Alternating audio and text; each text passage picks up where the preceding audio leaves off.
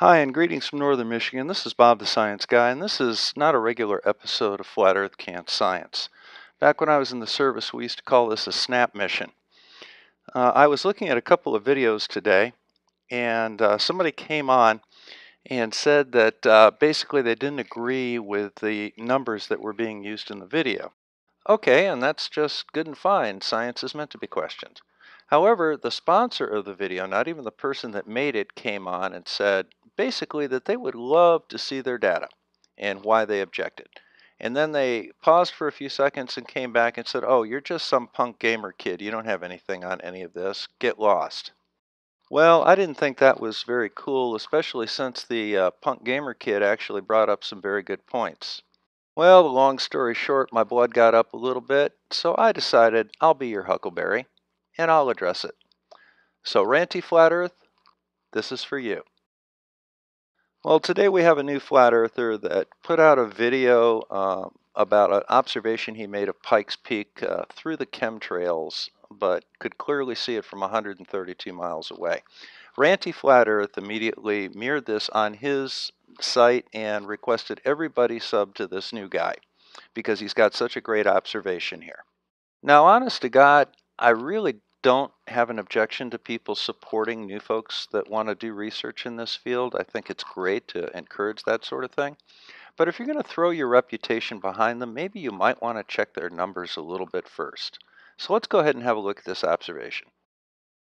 So just a quick thing on the uh, technical aspect of the observation. He did a very good job demonstrating his locations and such. It was very easy to find on Google Earth, get, uh, get elevations and locations and distances.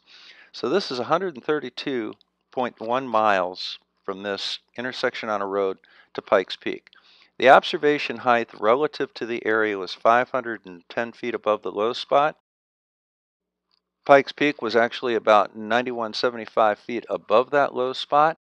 And as you can see from the curve calculator here, we should have about 3,400 feet visible. This is the advanced curve calculator, and as you can see, we've put all the numbers in correctly. And if we look at this next shot from Google Earth uh, concerning Pikes Peak, you can see about where the level of the horizon should be. Now, as I said, this is kind of a snap video that was put out, so I'm not showing all of my work here, but you have all the numbers that you need to do it yourself if you'd like to check them.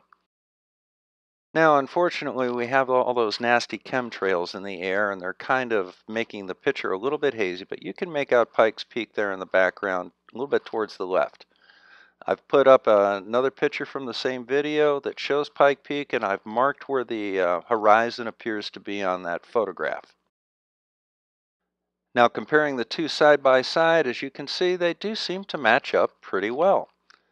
Now in the original video that Ranty mirrored, uh, the author claimed that only about a thousand or 1200 feet should be visible. In reality, quite a bit more, almost three times as much more is visible, and he claimed that he could see 8,000 feet of this mountain.